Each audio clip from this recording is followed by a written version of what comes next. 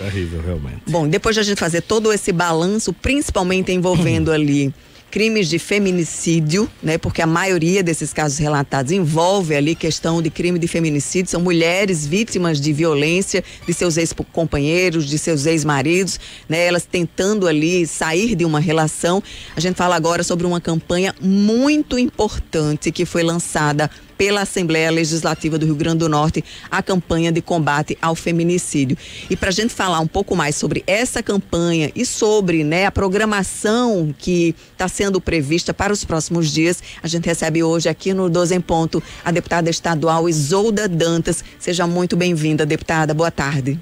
Boa tarde, Ana. Boa tarde, Túlio. Boa tarde, Boa você tarde. que nos escuta aí pela 98. Pois é, Ana falando aqui, eu me arrepiando, né? É, dessa situação, mas é, é, é, interessante, assim, quando acontece uma situação dessa, eu acho que nós temos que chamar a sociedade para uma reflexão muito mais profunda. Porque a gente às vezes lamenta só quando a mulher é assassinada, né? E a gente precisa entender por que é que as mulheres são assassinadas porque são mulheres? Essa é a pergunta que nós temos que fazer para a sociedade, porque nós temos que nos antecipar a isso. O assassinato é a medida extrema, né? É, Antes eu, disso, tá. É, é, claro, eu costumo dizer que, que a violência contra a mulher é a expressão mais dura do machismo. Mas eles, ele, ele acontece antes. Inclusive, a campanha que a Assembleia, inclusive, encerra amanhã com um bom balanço é, de, de, de combate ao feminicídio, é para a gente se antecipar a ela. E a, e a campanha é muito interessante porque ela apresenta os sinais né, que pode terminar no feminicídio. Porque é, às vezes a gente acha é, comum ou acha natural o controle que os homens têm sobre as mulheres, né? De controlar que roupa que ela vai usar, se ela vai usar batom, se ela vai visitar a mãe, controle no celular tudo isso vai se acumulando numa relação doentia, numa relação de poder, numa relação tóxica, é, né? tóxica e chega ao ponto do feminicídio. Alguém não, não começa a namorar outro ou casar e no outro dia diz assim, eu vou matar você porque eu não gostei de você. Não é assim que as coisas funcionam. As relações elas vão é, é, é, ficando, o enfrentamento vai aumentando, né? E, e, e, os, e os sinais são sendo dados pelo agressor. E a campanha que a Assembleia fez era exatamente chamando a atenção para nós mulheres esses sinais que uma relação começa a ter, que a gente tem que se antecipar, porque todos nós, nenhuma mulher está livre disso. Infelizmente, né? Porque nós vemos uma sociedade que ela é desigual e o resultado dessa desigualdade, um desses resultados é o feminicídio. Nós temos vários. Nós temos a pobreza, nós temos é, a depressão, nós temos um conjunto, o suicídio, nós temos vários. E um deles é o feminicídio. E nós não podemos achar que isso acontece de uma hora para outra. É um processo que termina nesses casos que Ana estava relatando aqui. Deputada, esses sinais eles começam a ser dados, mas muitas vezes, é, como diz aquele ditado, o amor é cego, você não percebe, né, de imediato esses primeiros sinais. Até um excesso de ciúme muitas vezes ah, pode isso, ser isso encarado. Parece, Ana, como eu, é porque eu quero muito você, né? É, é como demonstração de amor, de afeto, quando na verdade não é né? Não, eu tenho, eu tenho ciúme é porque eu lhe quero muito. Quando na verdade, é, eu não tô aqui. A, a, que ciúme é um sentimento que existe, mas ele não pode ultrapassar o limite, né? Desse sentimento. Se a outra pessoa não quer, os casamentos eles terminam e o indivíduo tem que entender que acabou e que é possível reconstruir a vida de outro jeito. Túlio falava de como esses crimes eram tratados anteriormente, por isso a importância da Lei Maria da Penha. Porque a Lei Maria da Penha, ela tipificou o crime, né? Às vezes, o, o homem às vezes não, o homem bate constantemente na mulher e ele não era visto como criminoso. E impressionante que as pessoas têm muito receio de sentar na mesa com um criminoso que comete todo tipo de crime. Mas não tem nenhum constrangimento de sentar na mesa com aquele que comete o crime todo dia contra as mulheres. Então, a Lei Maria da Penha nos permite agora dizer, você é um criminoso, porque você bate na mulher, né? Então a Lei Maria da Penha trouxe um divisor de águas nesse sentido, de fazer com que a sociedade possa dizer, olha, quem bate na mulher é criminoso e tem e tem pena para isso, né? Essa é a importância. Deputada, a campanha fez um, uma espécie de levantamento para saber é, o perfil da maior parte das mulheres vítima de violência, da violência dos seus ex-companheiros. Tem a ver com classe social, com dependência financeira? Como é que é esse perfil da mulher que é a maior vítima de violência? Olha, a violência ela acontece em todas as classes sociais né? Se a gente for ver, inclusive, nós temos situações muito próximas, né? É, lá na casa que eu trabalho, né? É, é de, de, de, pessoas que, que têm um poder aquisitivo significativo e que cometem violência contra, contra a mulher, né? Contra a sua mulher, né? Por exemplo. é, então, assim, é, ela, ela uh, perpassa todas as classes. Agora, é óbvio, Ana, que é muito mais difícil você romper uma situação de violência é, quando você tem uma dependência financeira, quando você tem uma situação é, de desigualdade social muito profunda, né? É, é, você torna-se muito mais frágil no sentido de reagir a esse tipo de situação. Não estou dizendo, porque eu estou dizendo que nós mulheres, independente de, de ser deputada, de ser jornalista, de ser. Nós, todas nós somos passíveis de sofrer algum tipo de violência, mas inclusive a capacidade de perceber que isso é violência. E... Então, é, ela acontece em todas as classes, mas hum. o impacto de uma violência contra a mulher, numa, numa, mulher negra, pobre, dependente, é muito maior, muito mais difícil de romper do que umas mulheres Justa... que têm autonomia econômica. Deputada, justamente isso. Eu sou preta, pobre, dependente financeiramente do meu esposo, do meu companheiro, e eu estou apanhando dia sim, dia também. Só que, para onde eu vou? Eu vou denunciar e ele vai ficar solto, ele vai voltar a me bater, ele vai me matar e eu vou viver de quê? De quê? Exa é, esse, esse, por isso que eu estou falando que a, o impacto né, de uma situação de violência numa mulher que, é, que, é, que é da classe trabalhadora, que é pobre, que é que, é, que vive na, na extrema pobreza, é. é. muito mais forte. Mas é o isso. Estado já chegou nesse, nesse amparo a essa mulher? É muito difícil, viu? viu? Eu, eu, por exemplo, inclusive uma das conquistas do nosso mandato foi a gente uma casa abrigo lá em Mossoró. Porque o que que acontecia? Eu trabalho com mulheres, movimento de mulheres há muitos anos. E teve situações, inclusive, da gente, de forma individual, recorrer, né, socorrer uma mulher e não ter para onde ela levar para onde levar. Hoje, Mossoró, a única casa abrigo do estado do Rio Grande do Norte é em Mossoró, que as mulheres elas chegam lá. Mas aqui em Natal já teve. Mas é municipal, né? É. Essa em Mossoró é estadual. Sim, estadual. Aqui tem uma municipal. Mas a, a, a, única estadual que recebe mulheres de todos os municípios é em Mossoró. Então as mulheres elas chegam lá, elas têm as portas de entrada, né? Porque ou é a delegacia ou é, é a promotoria, porque não pode, você tem que, né? Inclusive a casa a gente não divulga o endereço por segurança. Então ela, se ela fizer denúncia na delegacia e disser, olha, eu não tenho para onde ir, a delegacia encaminha a casa, então um carro da casa busca ela na delegacia. A promotoria, se, a, se você faz a denúncia na promotoria, a promotoria recorre, é, se utiliza inclusive da, da, da, Patrulha Maria da Penha, da Polícia Militar, e essa mulher é levada até a casa, ela fica até três meses nessa casa, lá ela tem psicóloga, tem é, é, pedagogas para as crianças, porque se ela tiver filho ela pode levar ela fica hospedada, tem alimentação, ela fica na casa, né? E depois ela é encaminhada para o aluguel social também por três meses, após três meses, e é, recebe prioridade é, para acesso a emprego se for desempregada. E qual é o tratamento que é feito com o agressor? Porque essa mulher ela vai virar uma refém dessa situação. Vai ter que ficar isolada da família, escondida, protegida, o Estado amparando mas aí depois de três meses ela vai ter que seguir com a vida e vai novamente estar lá de certa forma, né, exposta a uma nova agressão. O, o, o, qual é o tratamento que é feito com o agressor para mudar Evitar a cabeça? A né? a, não, e, e é, tentar mudar aquela cabeça doentia dele. Olha, primeiro eu acho assim que, que, que ao rigor da lei. Porque se ele, se ele cometeu violência, ele é crime, então ele tem que punir, ele tem que ser punido. Sim, Inclusive, a, a, senadora Zenaide estava com um projeto para acabar a pena é, comunitária que chama, né? De, de prestação de serviço, prestação de serviço para vítimas de, de, de, violência contra a mulher. Até por isso mesmo, porque a mulher sai e ela fica, se ela não tiver medida protetiva, ela fica muito vulnerável. Tem que ser o rigor da lei. Sobre essa questão do tratamento dos homens, primeiro eu não acho que é doença. Eu acho que é medo de perda de privilégio e essa ideia de que nós mulheres somos propriedade dos homens. É uma né? cultura, é cultural é, ainda, é cultural né? E é material, exatamente. É uma coisa é. De, da cultura do machismo no Brasil. Pegar, o homem era o chefe de família, era o dono ó, da mulher. Se a gente pegar uma linha do tempo da nossa vida. Eu digo nós porque somos mulheres, eu não gosto de me colocar fora do problema, porque somos parte dele.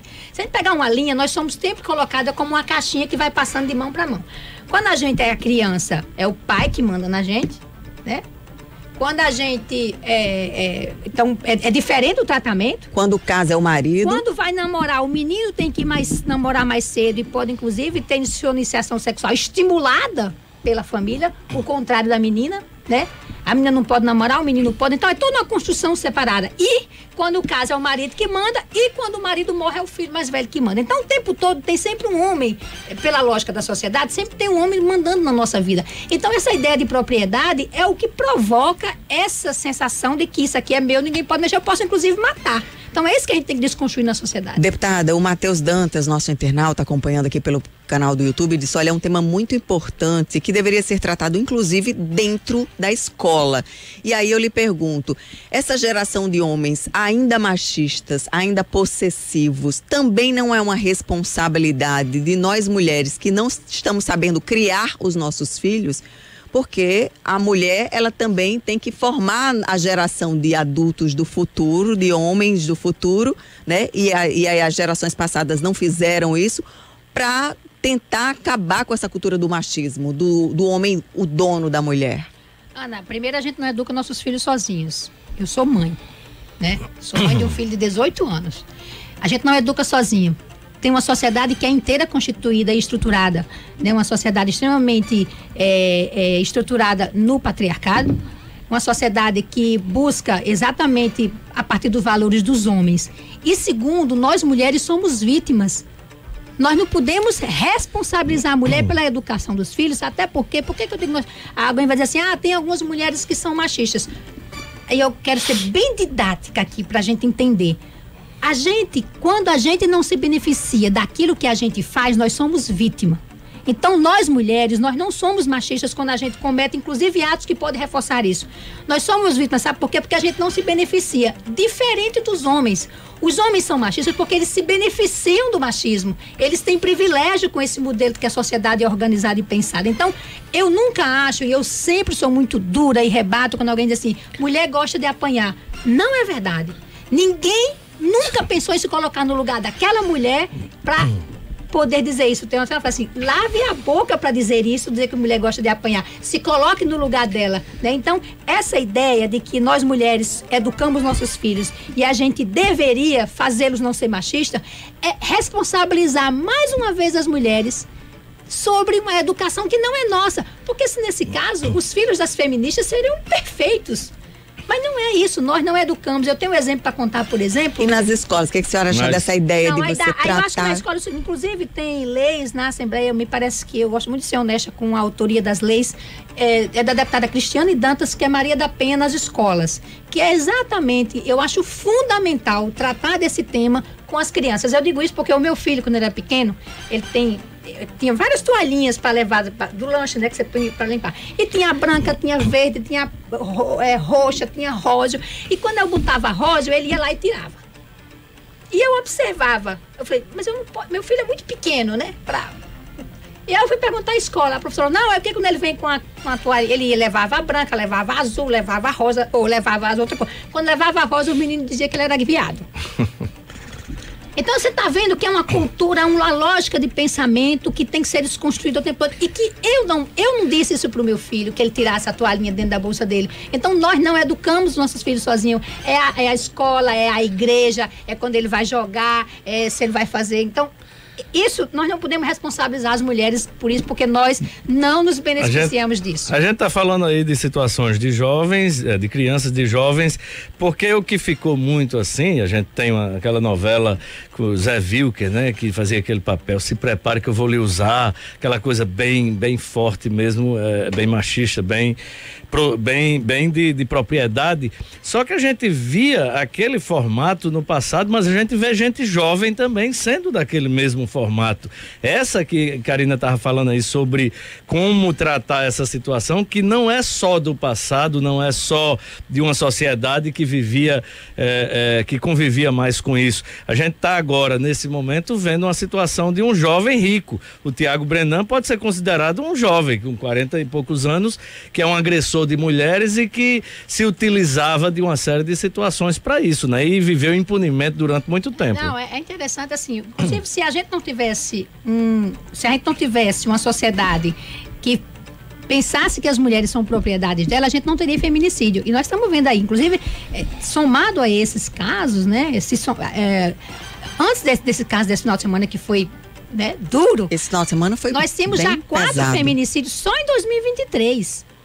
Só em 2023, né? Nós temos uma lei estadual que é, determina o 15 de julho como dia de, de, combate ao feminicídio, onde sete mulheres foram assassinadas de uma vez só. Vocês lembram desse caso em Itajá, né? Foi dia 15 de julho e a gente instituiu o dia 15 de julho como dia de combate ao feminicídio. Então, assim, se a gente vivesse numa sociedade igual, onde nós mulheres não fôssemos vistas como propriedade dos homens, nós não teríamos feminicídio.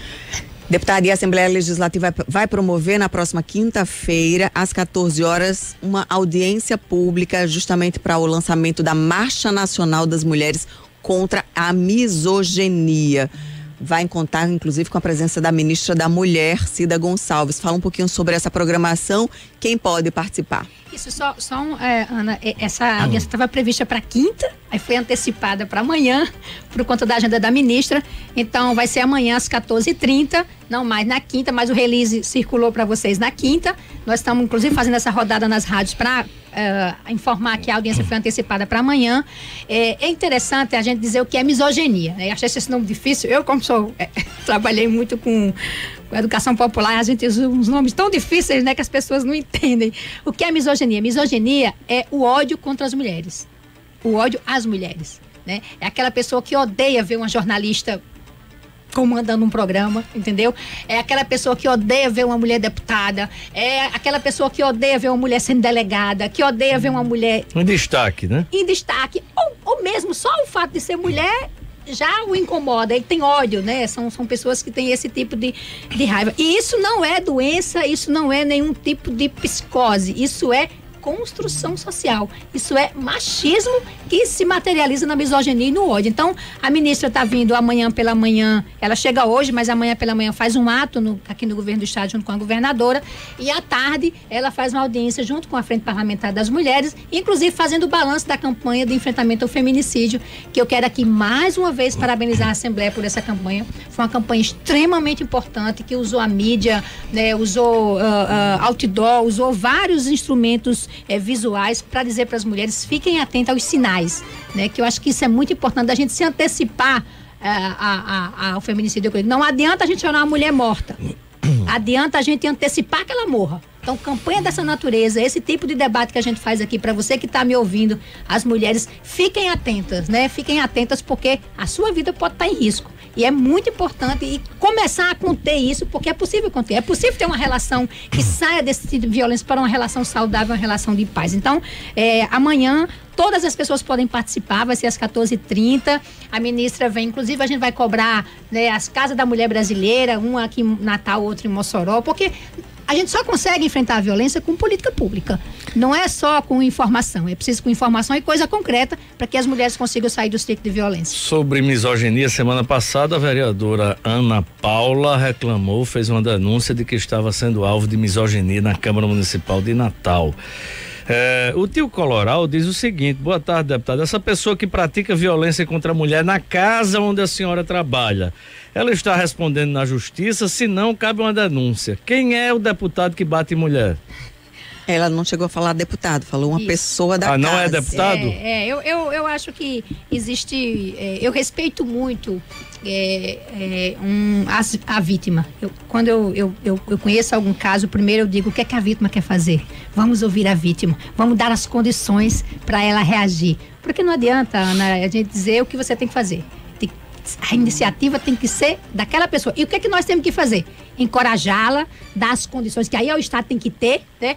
Proteção e encorajá-la, porque é a vítima que tem que, que decidir. Então, nessas situações, nós estamos, a Frente Parlamentar da Mulher está à disposição para apoiar né, a situação de qualquer mulher que queira fazer a denúncia, para inclusive se sentir uh, com condições para isso, né? Mas, deputada, isso que a senhora diz não vai um pouco de encontro justamente com o avanço da legislação? Porque, por exemplo, violência contra a mulher hoje é uma ação pública incondicionada, não depende, não depende de representação da, da vontade da retirar. mulher. As pessoas, elas podem denunciar a, a violência a em relação a terceiros. Justamente aquele ditado que dizia antes, é. em briga de marido e mulher não se mete. Muito pelo contrário, hoje as campanhas mostram que hum. tem que meter mesmo e tem que denunciar para evitar, porque muitas vezes a vítima ela está refém de uma situação. Está tá correndo risco, né? Muitas vezes, né? Mas assim, esse caso é um caso público, né? Já foi feita a denúncia, então. É público como? Não, porque a senhora está tá estimulando, a senhora está estimulando que as pessoas denunciem quem é vítima de violência. Não, mas esse caso já a foi... senhora sabe de um caso e não quer dizer. Não, eu, eu, eu, eu não é, eu, eu não. digo porque o caso ele já foi feita a denúncia, está tramitando, então é, eu não, eu, eu, eu sou muito cuidadosa, Túlio. Não, tem que preservar, logicamente. Eu sou muito cuidadosa ter... com, com as coisas é, e eu não gosto de ser, tipo assim, eu não gosto de ser franca tiradora e fazer é, sambar na, na, na, desgraça dos outros. Eu sou muito cuidadosa com isso, principalmente na política, porque o que está acontecendo hoje é muito fácil você pegar e, principalmente uma pessoa pública, e você jogar na mídia e fazer toda aquela festa em cima. Eu não sou assim. Eu, por exemplo, nas minhas redes sociais, você não vão ver nenhuma denúncia de nenhum outro personificando não, a situação, não, não, né? Não, não, faço isso. Eu acho que se eu for fazer política, eu faço a partir do que eu estou fazendo. É claro que tem denúncia que você faz, como fizemos muito do governo Bolsonaro e tal, mas nunca nesse sentido de pegar alguém e jogar como muitas vezes pessoas que tiveram a sua moral altamente destruída e depois, né, contar. Nesse caso que eu estou falando, né, é um caso público, já foi feita a denúncia, então segue as pessoas é, é, é, não a, a, quem deveria estar protegido está. Né? E eu confio muito na justiça e na lei de que esse caso vai ser resolvido. Porque eu, eu considero que é, é, essa, essas questões. Mas é, é, um deputado estadual? É uma pessoa da casa. Né? É, eu acho, acho importante ter cuidado para depois a gente não, não fazer uma festa em cima da, da, da, desgraça. Inclusive, muitas vezes assim, as mulheres precisam ser protegidas, inclusive nesses casos. Né? Perfeito. Né? Amanhã, então, 14 horas na Assembleia, audiência com a presença da ministra da Mulher. Isso, a ministra Cida Gonçalves vem fazer, o, é, nós, nós à frente vamos fazer o balanço, né, da, uh, da campanha de combate ao feminicídio, que foi um sucesso, e também a ministra vai apresentar a campanha nacional contra a misoginia. Como é que está a condição, as condições de trabalho da delegacia da mulher aqui? Olha, eu, eu, eu, não, eu sei que a última ação que foi feita na Zona Norte foi a de tornar 24 horas, 24 horas. A, a, a, delegacia. Temos efetivo para isso, deputada Já está funcionando as 24 horas. E nós estamos na luta para que as 24 horas seja para Mossoró também porque Mossoró é uma cidade com, uma, com 300 mil habitantes, que tem um índice de violência contra a mulher razoável e principalmente acontece nos finais de semana. Então, é muito, Natal já tem a sua 24 horas, nós precisamos ter Mossoró e outras cidades polo. O que tem acontecido, a governadora, nesses né, últimos quatro anos, abriu sete delegacias é, de, de, em defesa da mulher. Abriu a Sul, é, abriu Currais Novos, outras, né, dentro, inclusive dentro da Central Cidadão. A gente considera muito importante, mas nós temos uma lei que, que eu considero fundamental para as mulheres, que é a delegacia virtual. Então, você que está me ouvindo, você pode acessar é, é, Polícia Civil lá no, no, no, no, site da Polícia Civil, tem o banner para fazer a, a, denúncia. Você pode fazer a denúncia. Se tiver exame de corpo de delito, aí a vítima tem que ir até na delegacia. Óbvio, para ser feito o exame de corpo de delito. Se for só a denúncia da Se violência, for só a denúncia, pode, ser, pode ser feito virtual, que vai ser atendido por uma delegada especializada, que é isso que a gente não abre mão. É muito importante que nesse momento que as mulheres estão sofrendo violência, elas sejam muito bem atendidas porque elas estão. Quando a mulher resolve fazer a denúncia, ela já está com a alma destruída. Fragilizada. Né? Num grau de, de, fragilidade, porque vai enfrentar a família, vai enfrentar a sociedade, vai enfrentar inclusive a pessoa que ela dedicou muito amor. Com certeza as mulheres, né, quando casam, elas casam porque querem muito bem. Então não é uma situação simples. Ninguém tem relação com inimigos, né? Não tem. E tipo assim, é uma situação muito. Às vezes dorme com inimigos, né? Sem saber. Quando Sem sabe, saber. tem que. Ou pelo menos na esperança de que vai mudar, né? Porque isso é o que acontece muito. Mas é uma situação muito delicada. Eu sempre digo, quando você estiver olhando uma mulher que está sofrendo violência, não julgue. Se coloque no lugar dela. Ela é vítima. Eu, só para falar aqui no nome de duas delegadas aqui, da época da, da, da, desses anos que eu falava aqui, que elas eh, na linha de frente realmente, e quando a ação não era eh, nesse formato que você falou, Karina, aqui, as mulheres entravam com uma queixa-crime e depois elas próprias eram obrigadas pelos companheiros a voltar lá para retirar é. a queixa. Margarete Gondim e Rossana Roberta Pinheiro. Obrigada, deputada Isolda, pela participação no 12 em Ponto, trazendo, debatendo com a gente esse tema tão importante e sucesso amanhã na audiência. Obrigada, quero convidar todo, todas as pessoas, inclusive hoje eu fiz um apelo para que os deputados pudessem participar dessa audiência, que o deputado, o presidente Ezequiel já confirmou presença amanhã nessa audiência e é muito importante. Nós temos que puxar a sociedade para resolver esse problema da violência contra a mulher. Só a sociedade vindo é que a gente faz com que os governos cheguem cada vez com mais política pública e a gente com mais legislações, né? Para que a gente possa olhar e dizer: nós não vamos mais chorar nenhuma mulher é, morta por feminicídio. 12 horas e 36 minutos, daqui a pouquinho, depois do intervalo.